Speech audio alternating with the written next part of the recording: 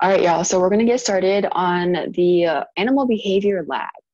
Um, I'm going to kind of walk you through the setup that I want you to have on your um, notebooks. So if you don't have a notebook yet, or at least a piece of paper or two, you're going to want to go get those.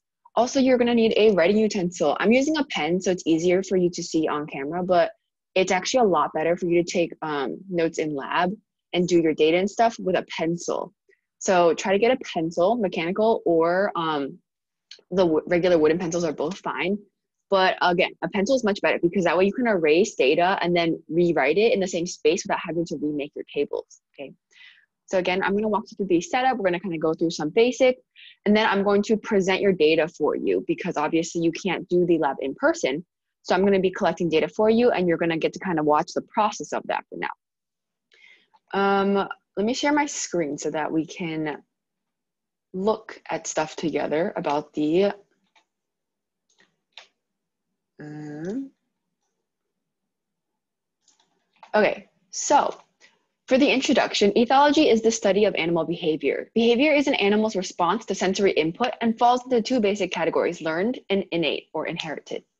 Orientation behaviors place the animal in its most favorable environment. In taxis the animal moves towards or away from a stimulus Taxis is often exhibited when the stimulus is light, heat, moisture, sound, or chemicals. Kinesis is a movement that is random and does not result in orientation with respect to a stimulus.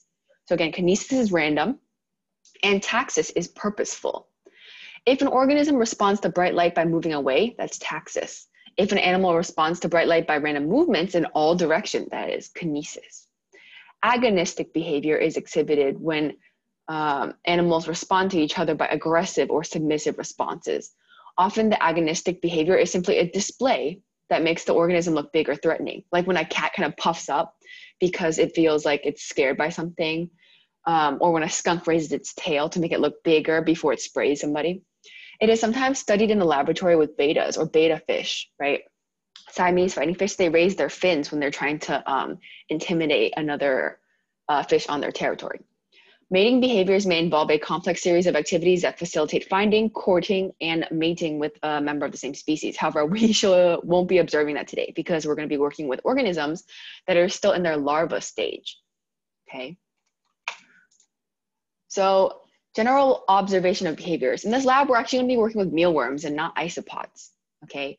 Because I can go buy mealworms and I'm not going to go stand outside for hours and try to catch like 30 um, pill bugs or isopods for um, the lab. So I bought mealworms, so we're gonna work with mealworms.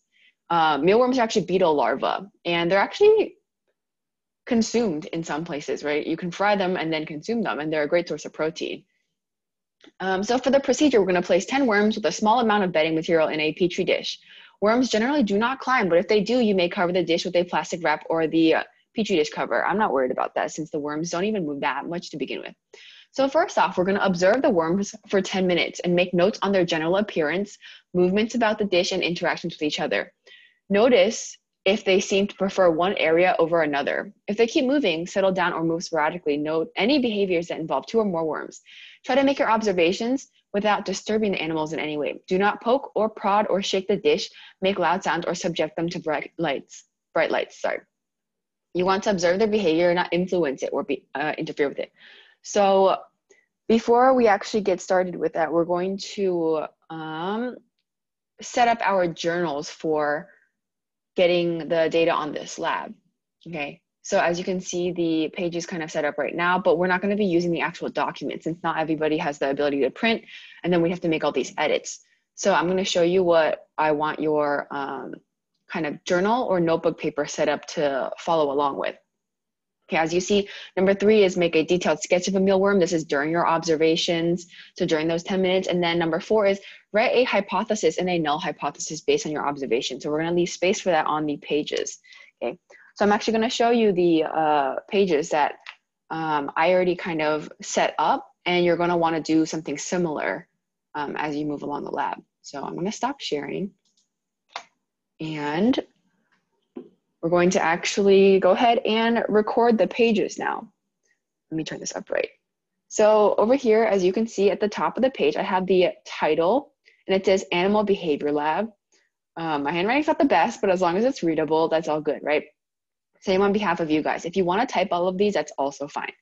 On the side, you're going to have your name and your date that you're starting the lab, the date of the start of the lab. And then over here, I have a little space left for observations. So when you have observations, you're going to be writing them down. So make sure you leave enough space. If you don't fill up all the space, that's okay, but you want to leave enough space just in case you do write a lot. Okay. The next section is sketch of a mealworm, like I said. And um, part of the observations is to draw a picture of a mealworm. So you're going to actually take a, uh, leave yourself a little space to draw a mealworm. Now, the next part that you're going to do is the hypothesis. So you're going to write an if then statement for the hypothesis. Um, and we're going to be, let me give you a little background. So mealworms actually live and they're in containers of like sawdust.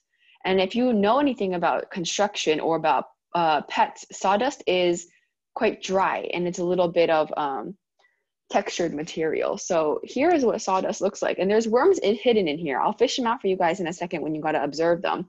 But this is what sawdust looks like, right? Think about if it's dry or wet. And then you're going to write a hypothesis statement based on if you like, sorry, if you think the mealworms like dry or wet environments and which one they will go to when they're given the choice of both. Okay.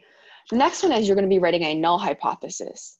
Okay. So the null hypothesis is going to be there is no difference between the observed results of the wet and the dry. Okay. So again, let me write that for you guys. So the null hypothesis in a chi-square test is always going to be about um, observing no difference between the control and the manipulated variables of the experiment, right? So we're manipulating the environment to be dry or to be wet. And the null hypothesis is always going to say there's no difference, right? So we're going to write there is no significant difference between the observed and expected number of mealworms on the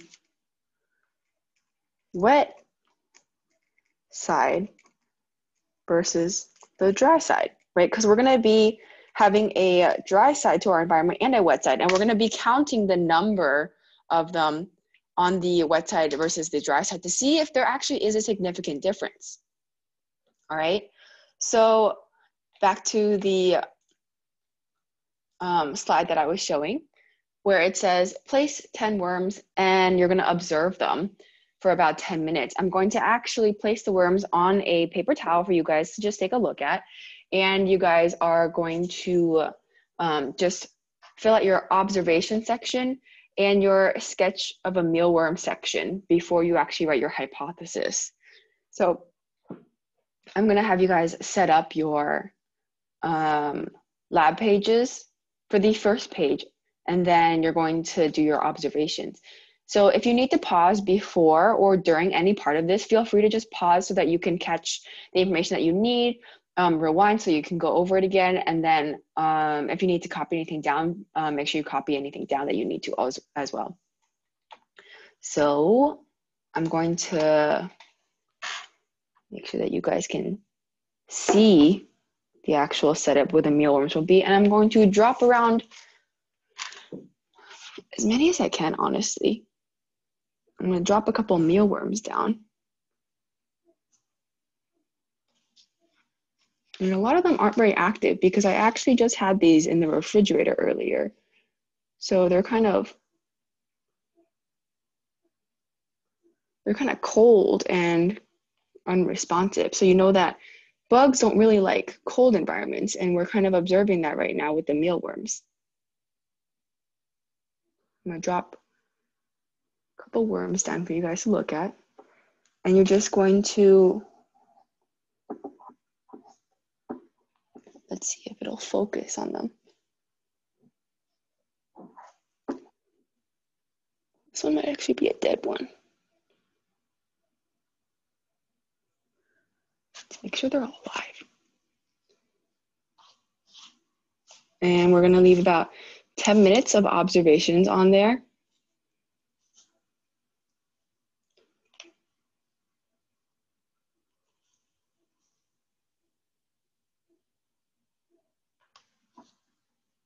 Sorry, buddy, you can't leave.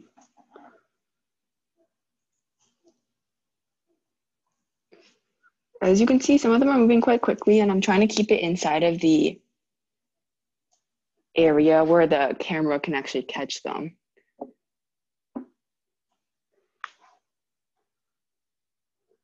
Sorry if the quality isn't the best. The camera's kind of auto-focusing right now.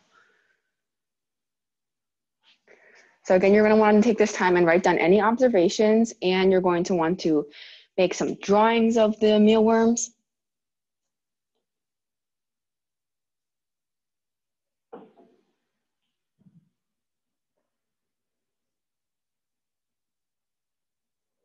Actually, we'll cut this down to probably around five minutes.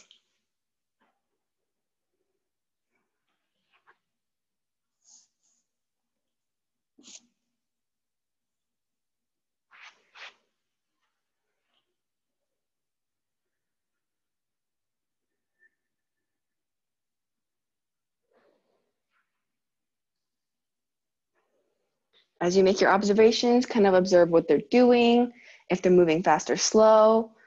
Um, their size, they're probably at long around an inch, uh, at longest around an inch long. Um, some of them are skinnier, mark down their coloring, mark down their, um, if you want to, you can mark about their speed or their differences in speeds and kind of how they're moving around. Um, if you look at them up close, or if you want to look up a picture online of the mealworms, you can kind of see that their um, legs are geared towards the front of their body, and the rest of them is kind of trailing behind.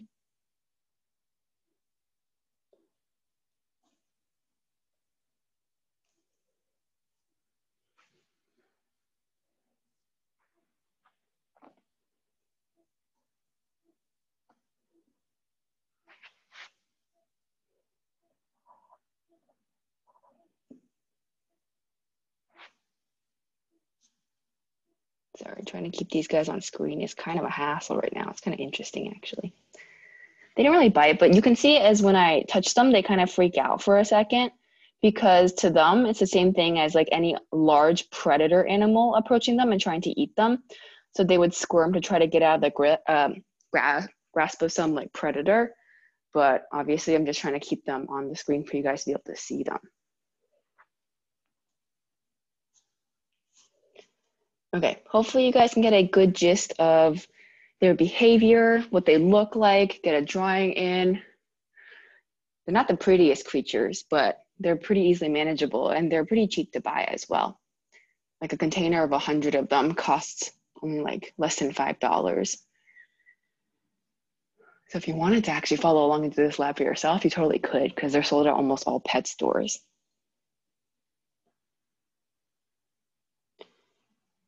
Anyways,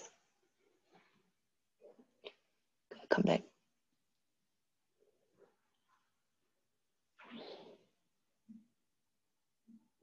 Okay, so I'm gonna put them back and we're going to move on with our setup for our page and kind of get started on the actual lab.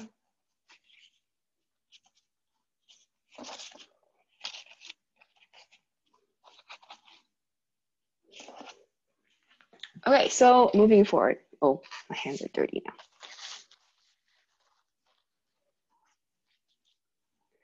Okay, so moving forward, I'm gonna screen share again.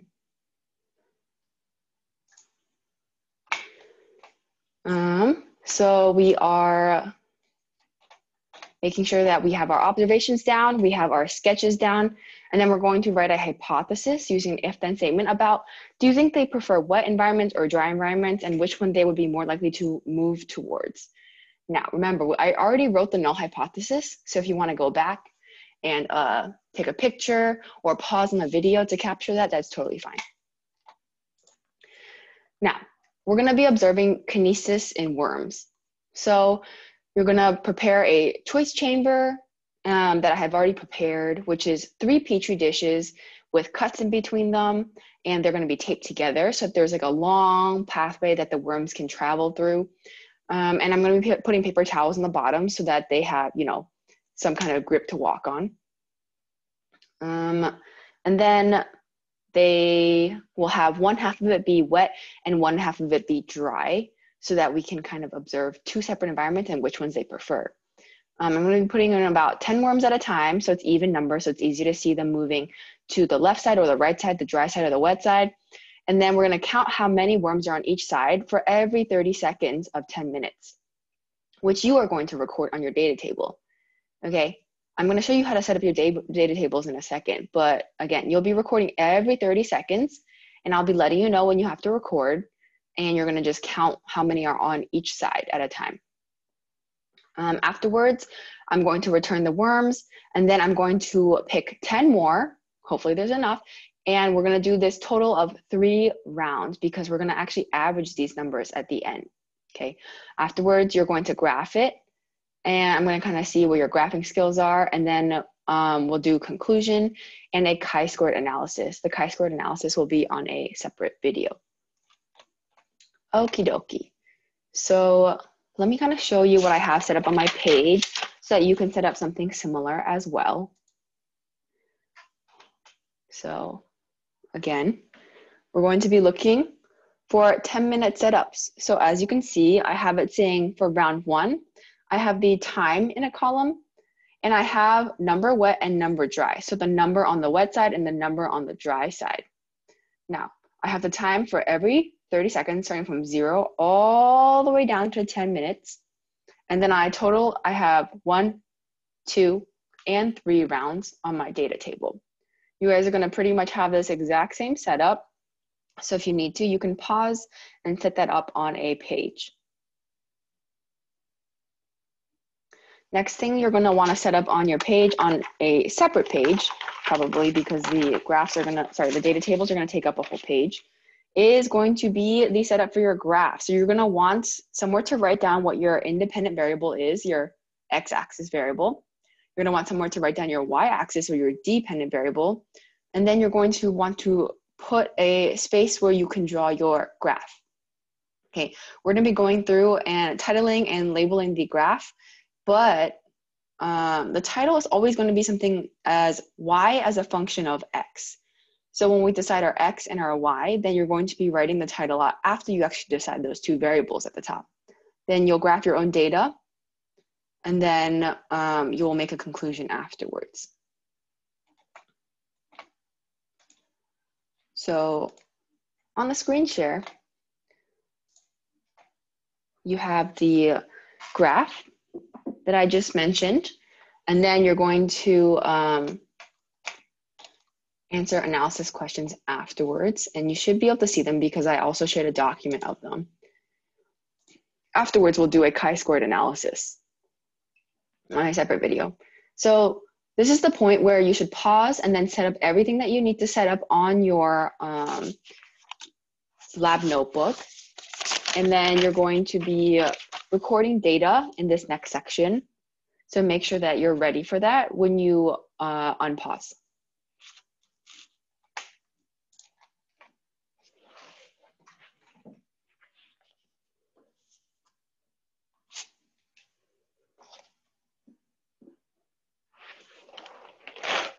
So I'm setting up this uh,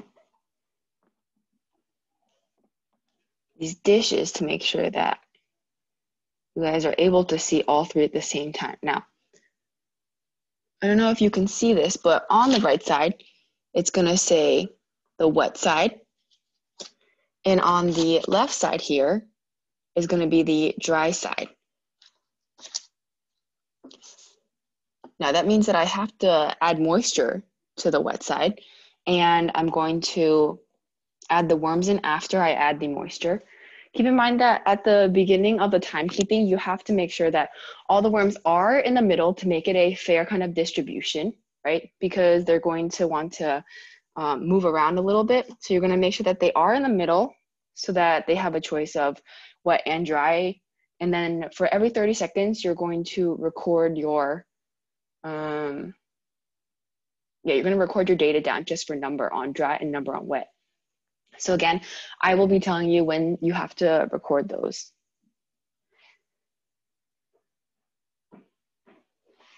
Okie dokie. So down here, I'm gonna add the water into the to the wet side. I'm gonna make sure that it's wet but not soaked. So I'm adding a little bit of water at a time, making sure the edge is wet because the worms are gonna actually try to go underneath the paper towel too. And once they go underneath, they're not coming back up. So I gotta make sure that um, it's packed down enough and that you'll be able to see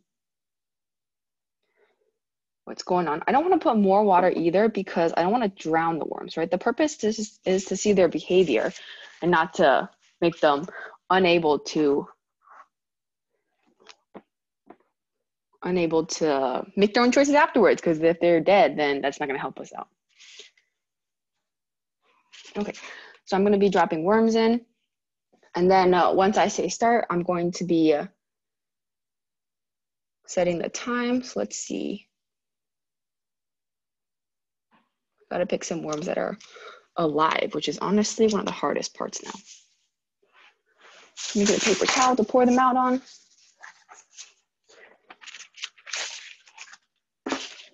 And then that way I can pick the alive ones.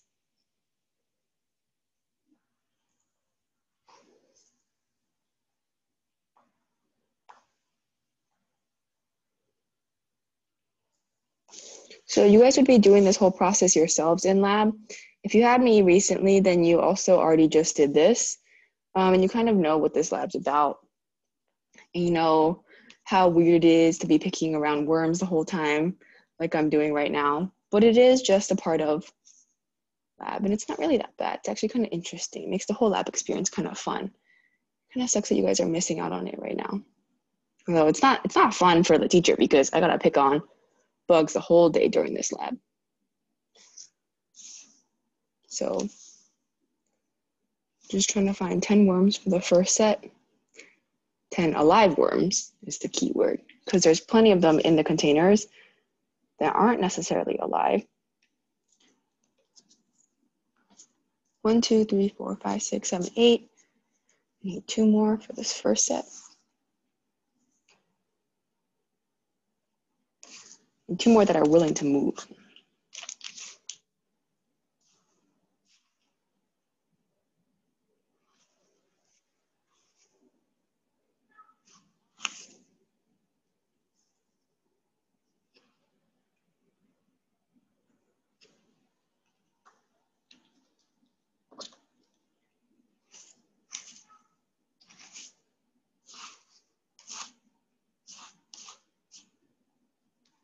Man, they really packed a lot of sawdust into these.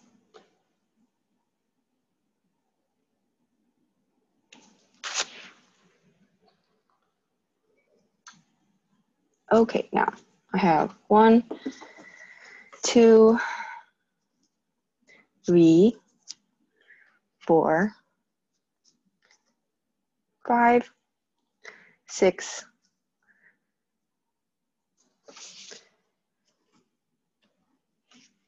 a little harder to pick up. Seven, eight, nine, and 10. So again, I'm gonna have them start in the middle and I'm going to start the time. And you're going to record your zero and now, your zero number now.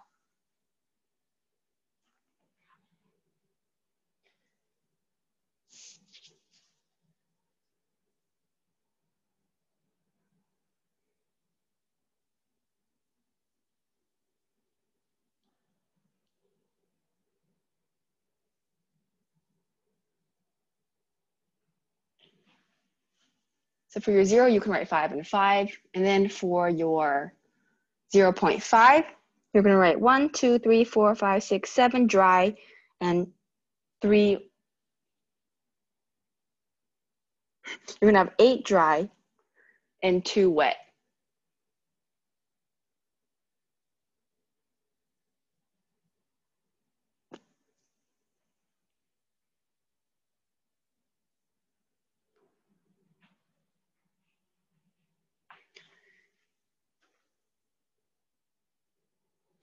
For your one minute, you're gonna have three wet and seven dry.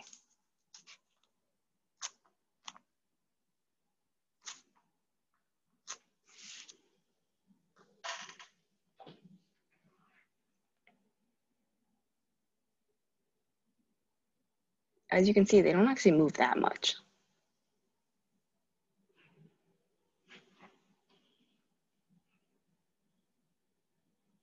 At your 1.5 minutes, you're gonna have one, we're gonna count that still as three wet and seven dry.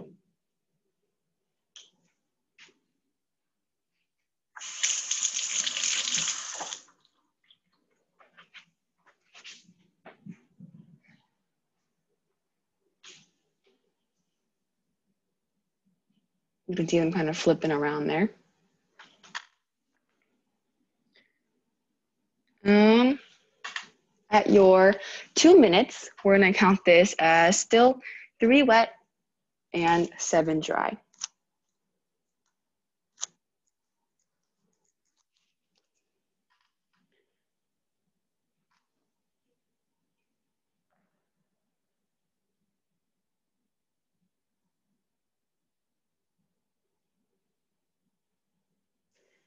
At your 2.5, we're gonna count these as three wet and seven dry. Right, it seems like they really haven't moved. The one in the middle is maybe wavering. We can't really decide right there, but technically since it's not on the wet side, we'll count it as on the dry side. If you were wondering, the other ones are kind of underneath over here and then underneath over here. All right, so we'll start counting the one in the middle at three minutes is on the wet side. So we'll have four on the wet side and six on the dry side. Maybe it'll kind of waver back depending on where it wants to be.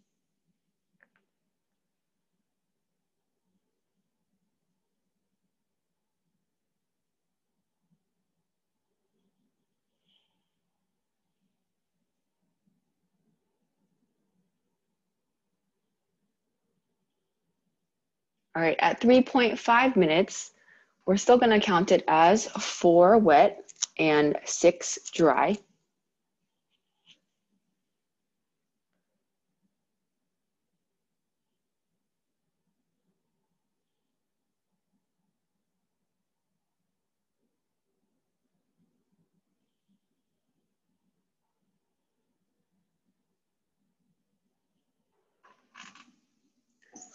Mealworm in the middle looks like it's turning back. So for four minutes, we're going to say three wet and seven dry.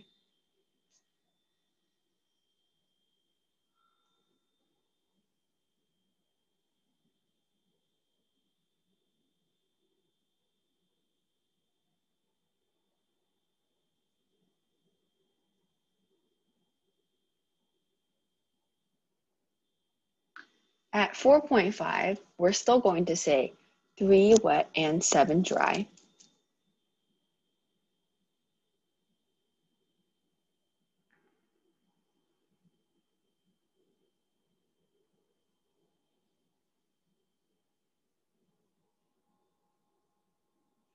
The ones under there are honestly causing this side to lift up a lot since they're all headed on the dry side.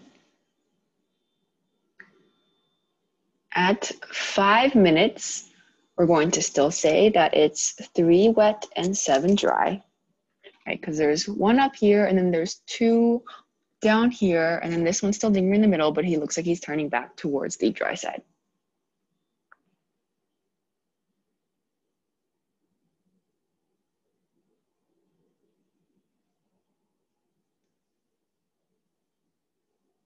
Right, so for 5.5, it's still three wet and seven dry.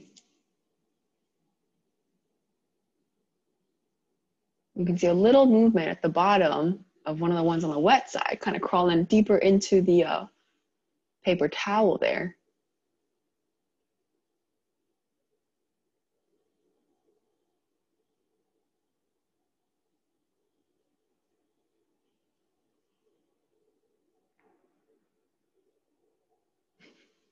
For six minutes, we're gonna definitely say that there are still three wet and seven dry.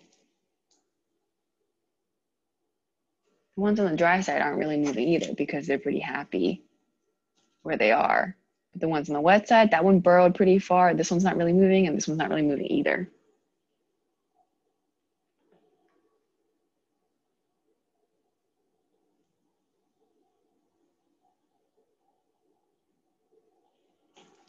At 6.5, we are still at three wet, seven dry.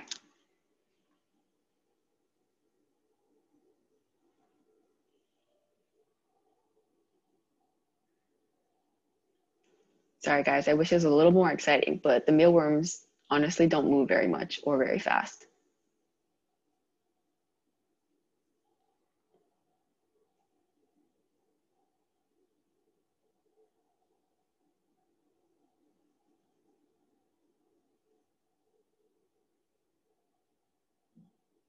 I'll take down the dry ones for the uh, next round. Okay, so for seven minutes, it's still three wet, seven dry.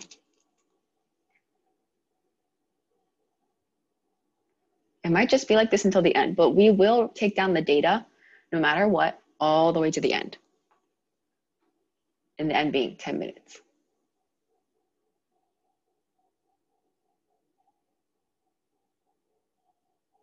Okay, for 7.5, it's still three wet, seven dry.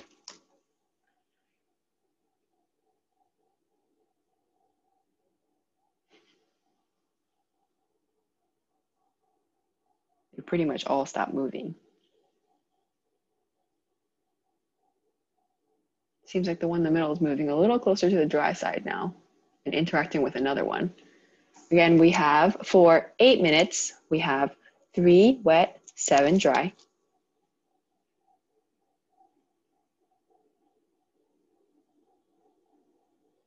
Oh, you see some movement there from the one in the middle. Can't tell if he's gonna make a change though. The other ones are pretty situated where they're at. Oh, there seems to be one moving towards the wet. Okay, it's still on the dry side though, so we still only have at 8.5, we have three wet and seven dry. But maybe we'll see this one that's closing on the wet side make moves.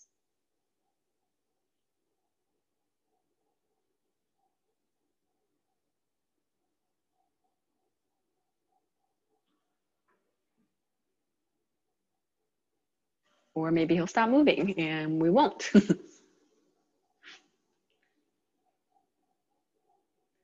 All right, for nine minutes, since the other one didn't make it all the way across the wet side, we still have three wet and seven dry.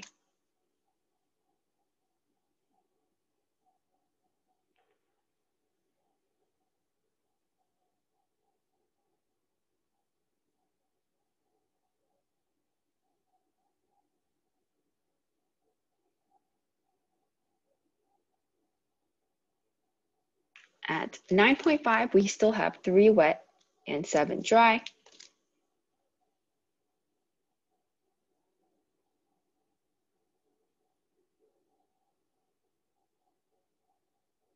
We're coming in on our last data set, uh, sorry, data point. Um, and they have about 10 seconds to make a decision if they want to be on the dry side or the wet side.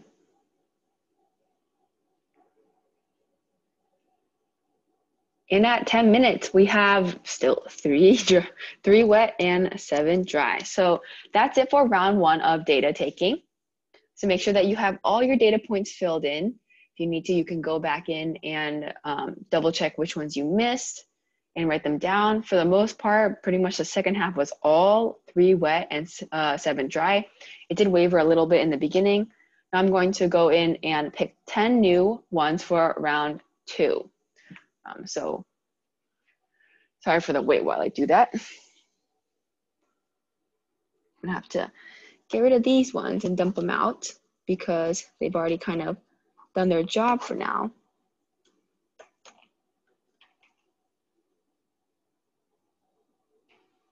I'm gonna leave them on the side over here so that they can just chill and I won't mix them up with the ones that already um, that I need to put in brand new. The paper towel ones are a little harder to handle.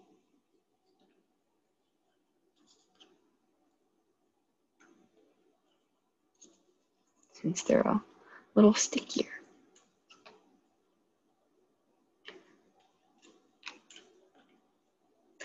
Let me uh, tape down the dry set too. As you could see, we're having difficulties maybe counting the ones on the dry side since they were uh, going underneath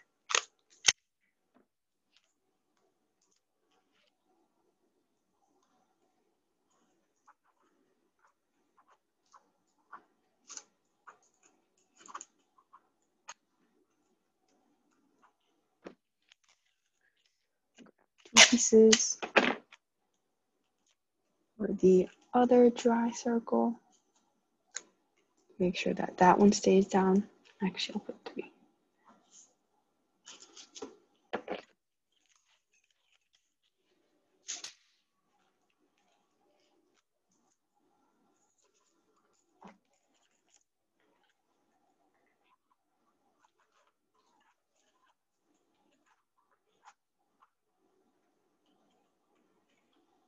if it's down, maybe we'll see them better. Maybe they'll still get under and then we still won't see them. You never know. Okay, I gotta pick out 10 more. It's still the same. Which side is wet, which side is dry.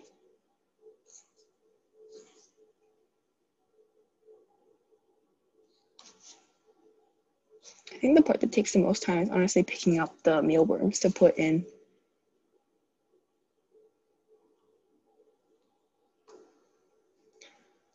two.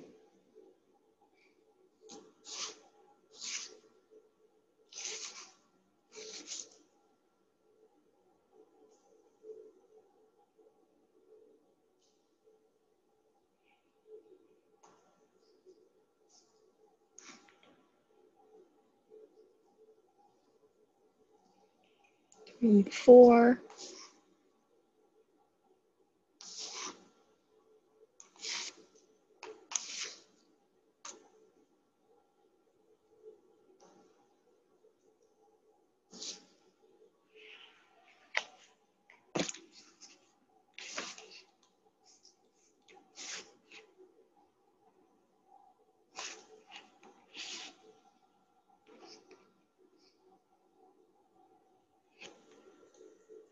Five,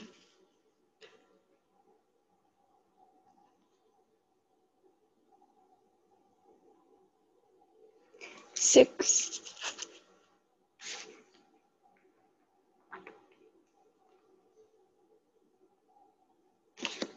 seven,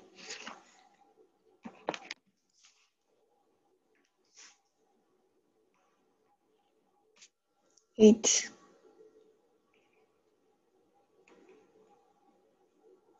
nine, and more. Let's get you in there. 10. Okay. All these worms really be crawling everywhere right now. Everywhere except when I want them to crawl somewhere.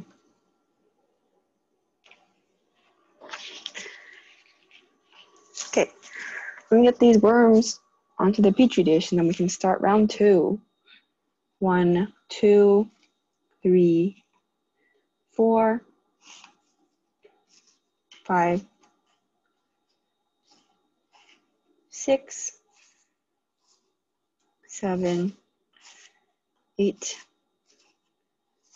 nine, ten. All right, so I'm gonna have them all start in the middle dish and our, let's leave the starting time for a little bit. So it's at the top of the clock. And we're gonna have our starting number as one, two, three, four, five, six, seven. Seven dry and three wet for zero. Three wet, seven dry.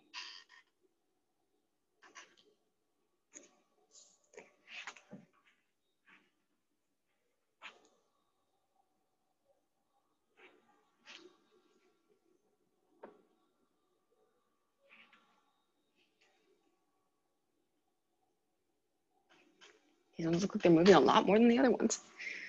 So here we have one, two, three. We'll count three wet and seven dry again. For 0.5, it's three wet and seven dry.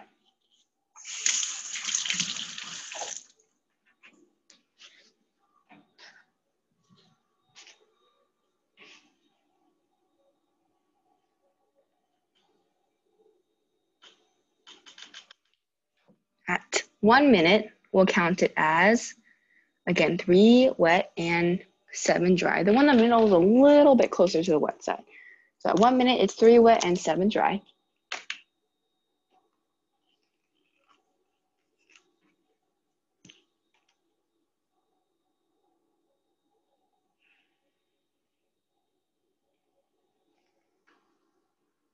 Seems like a lot of them are moving over to the side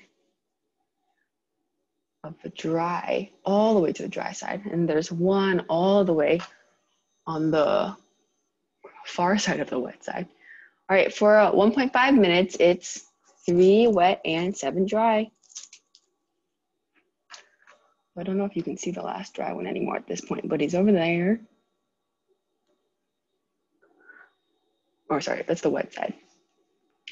Most of the dry ones are still packed underneath. Oh, one of them leaving the wet side. All right, at two minutes, we have two on the wet side and eight on the dry side. These ones are moving quite a lot faster than the other ones.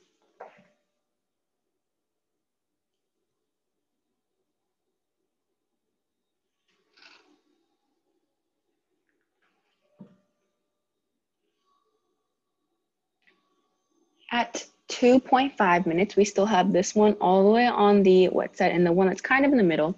We have two wet and eight dry.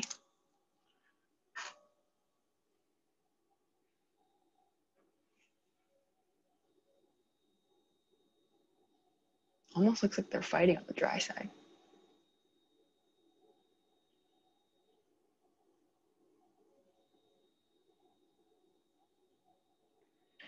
All right, at three minutes, coming up on three minutes, we still have one all the way on the wet side and then one that's kind of middle. So we have two wet and eight dry.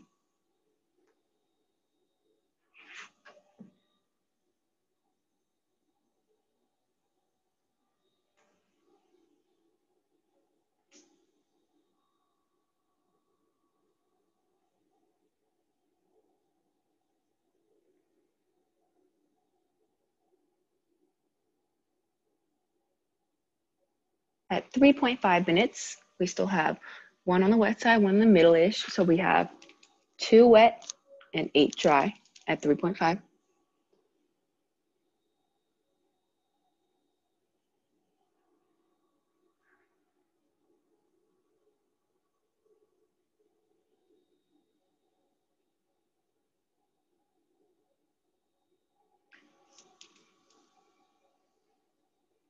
At four minutes, we still have two wet and eight dry. You can see the one on the far wet side is starting to move a little.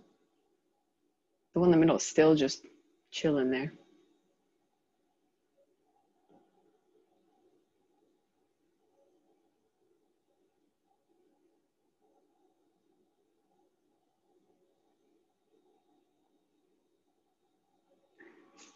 At 4.5 minutes, we have two wet and eight dry.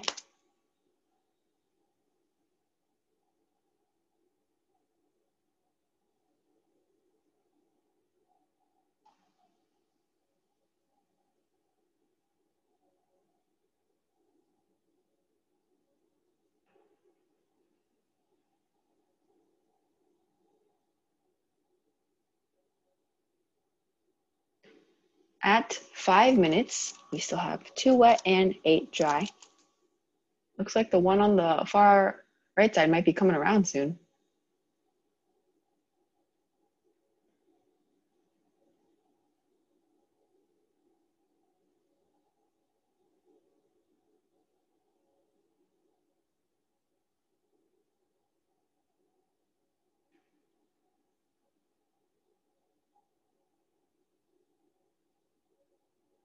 At 5.5, we still have two wet and eight dry.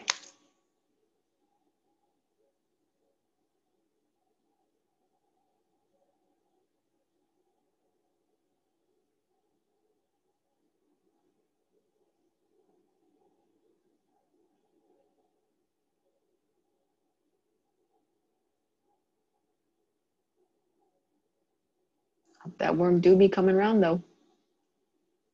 At six minutes, it's still two wet, eight dry.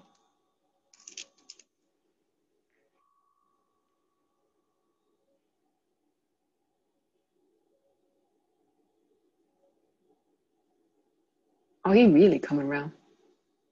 Might even go all the way to the dry side at this rate.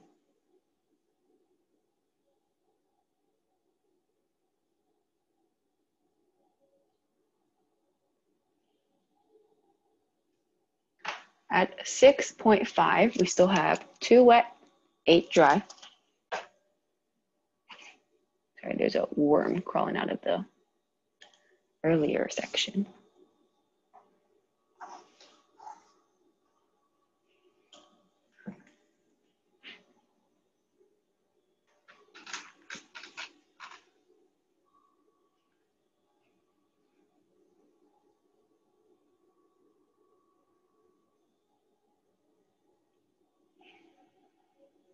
At seven minutes, we still have two wet, eight dry.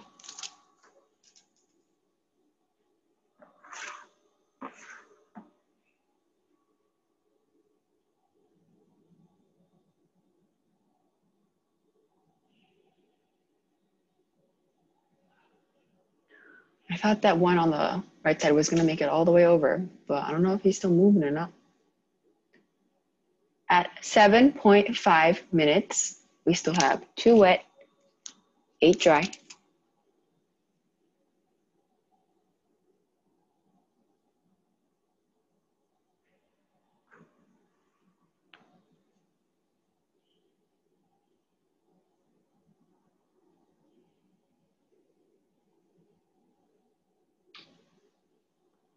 Coming up on eight minutes, we have two wet, eight dry. Again, even if the results stay the same for the whole rest of the trial or the round, you have to make sure that you record all the way to your full data time. So we will still be recording all the way to 10 minutes, even if it doesn't change.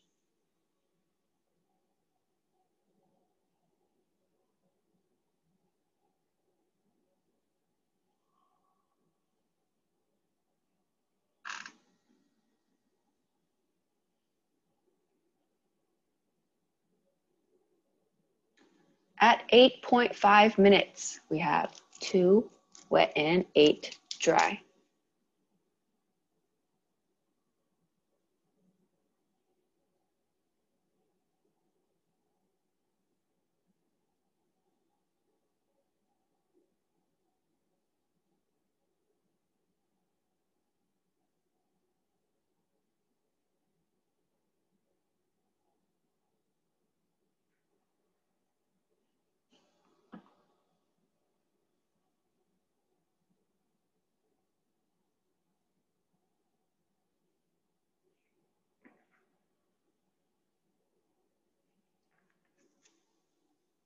At nine minutes, we still have two wet and eight dry.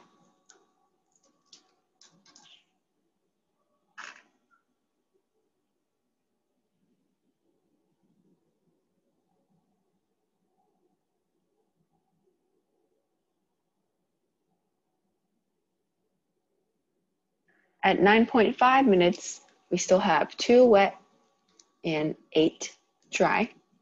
Although one in the middle looks like he's starting to move now. There might be one crossing over as well, so we'll see. Right, we have one more data point left in about 10 seconds.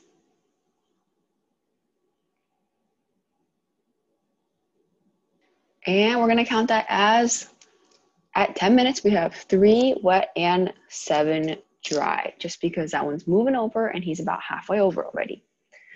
Okay, so I'm gonna have to collect these ones up and then we're going to put our last 10 in. I wonder from their perspective how much this just feels like being an like an alien abduction, you know?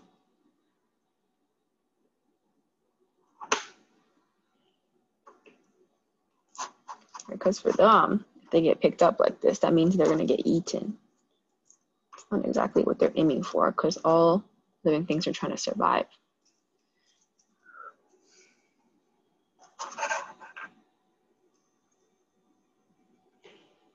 double check if there's any more. That should be it. And since I already picked out the next 10, we're gonna put them in. Once the timer is ready.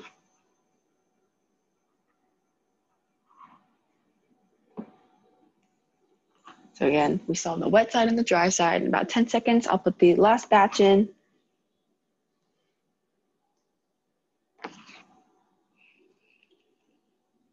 Okay, we're gonna cut this as one. We're gonna count it as one on the wet side and nine on the dry side for our zero for our round three. One wet, nine dry for zero.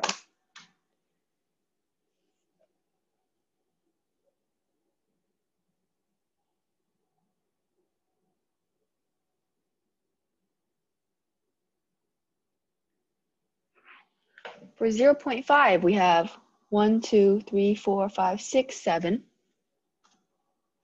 Seven wet, three dry.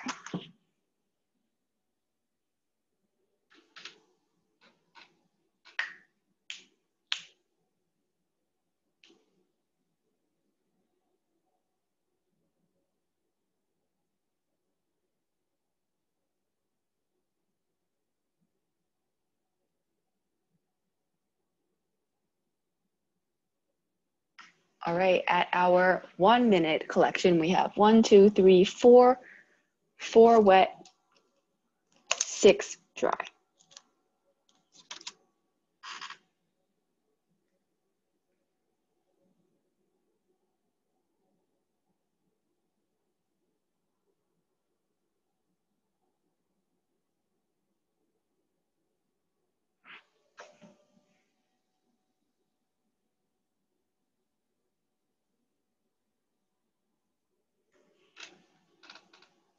At our 1.5, we have one, two, three, four, and five.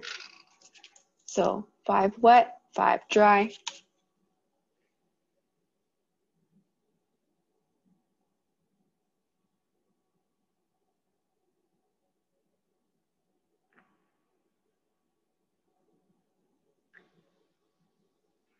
At two minutes, we have one, two, three, four, five, six, at two minutes, we have six wet and four dry.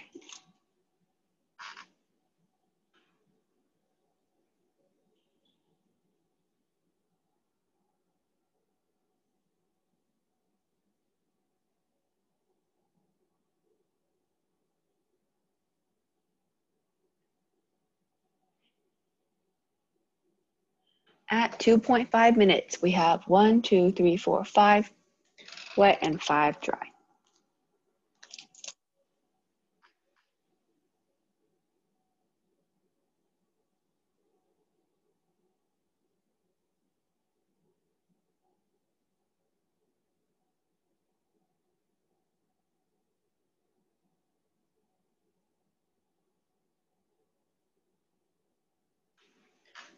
At three minutes, we have one, two, three, four, five, at three minutes, we have five wet and five dry.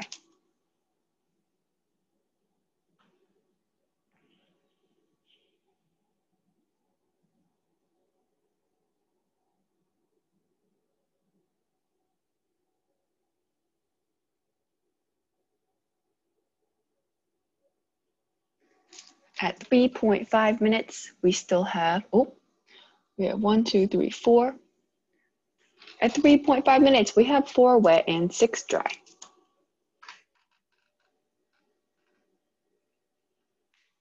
Seems like there's one heading all the way over to the far right side now.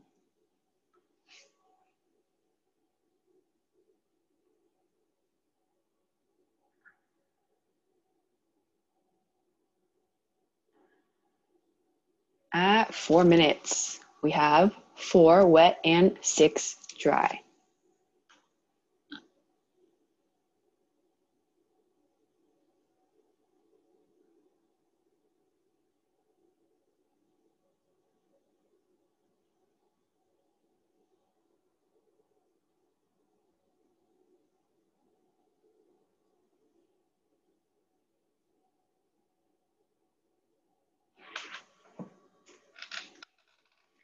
At 4.5 minutes, we still have four wet and six dry.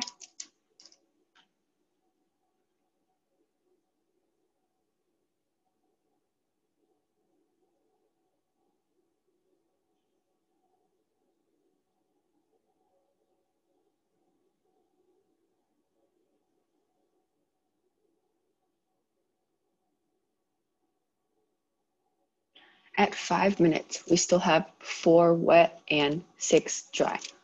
Oh, that one's going underneath the wet side. So it's a little bit, might get a little stuck there.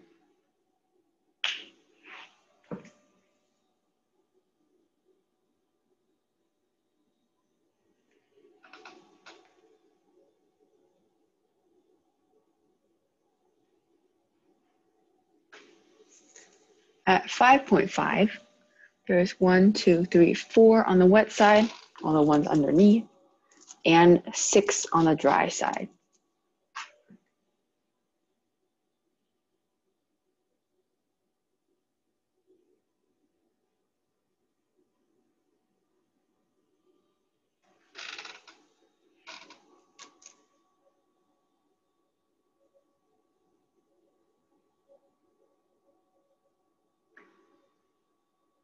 Six minutes, there's still four on the wet side and six on the dry side.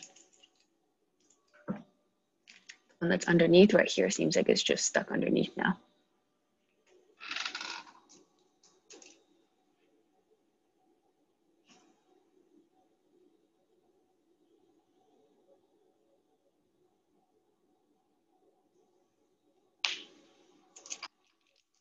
At 6.5, Nothing's really changed. Four dry, six wet. Oh, sorry. Four wet and six dry. Oh, and that was underneath. Looks like he's backing out.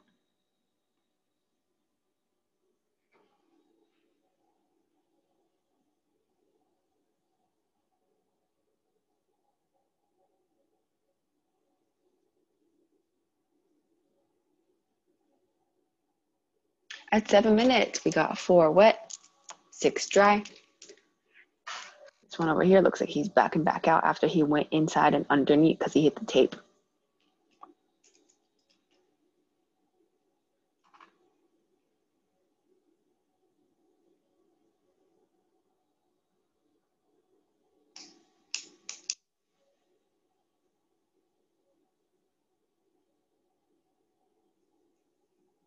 All right, at 7.5, we still have four wet and six dry.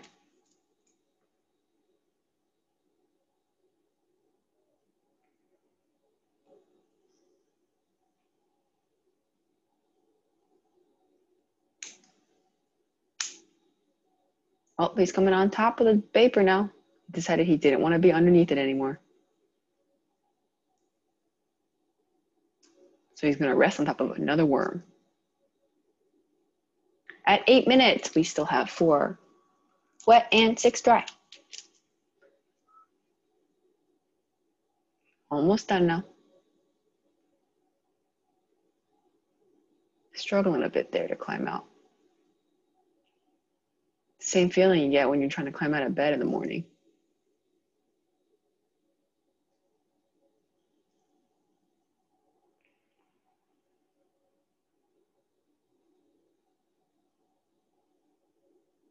At 8.5 minutes, we still have four wet and six dry. Seems like the ones on the dry side are pretty determined on staying there. The only one that's really moving around is that one in the middle of the two containers on the wet side. Oh, still a little movement on the dry side too now. At number nine, at minute nine, we still have four on the wet side and six on the dry side.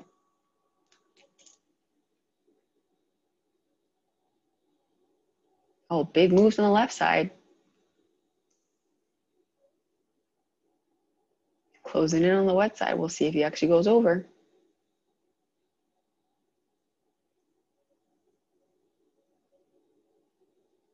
Oh, big U-turn. At 9.5, we still have four wet and six dry.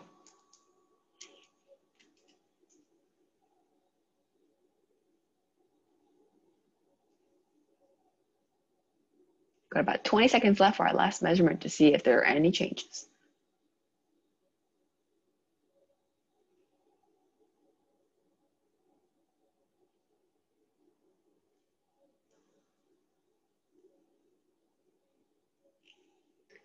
All right, and coming up on our 10 minute marker, we still have four on the wet side and six on the dry side. And that concludes our data collection for all three rounds of 10 minutes.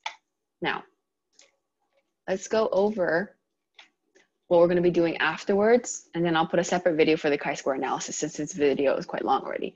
So you're gonna decide what is your independent variable and what is your um, dependent variable.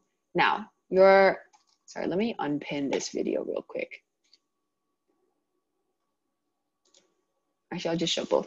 Okay, so for the independent variable, it's gonna be the one that you cannot control or the one that, sorry, independent variable is the one that we just followed, right? The one that um, the dependent is depending on, right? So the independent that we're gonna be graphing is actually going to be time, right? Because we're following time for our data table and then our dependent variable that we're counting the whole time we're keeping track of time is going to be our number of mealworms, either on the wet side or the dry side.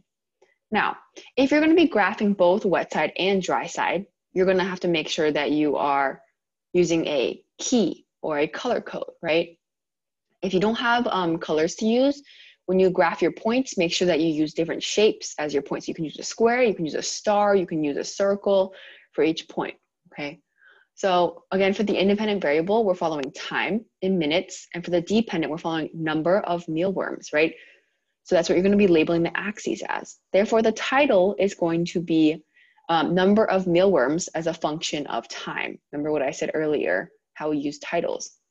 Once you title it and you label your axes, you're gonna have to add numbers into your axes. So make sure they're spaced out and you're using the whole entire graph, okay? And then you're going to make a key on the side for your, you're going to be graphing both the number of wet and dry. And we're going to do, um, we're going to just graph round one. So you're going to just graph round one. And so your title can be uh, number of mealworms as a function of time for round one. Okay, I'm going to conclude this video here and then um, I'll do a second video for the chi-squared analysis.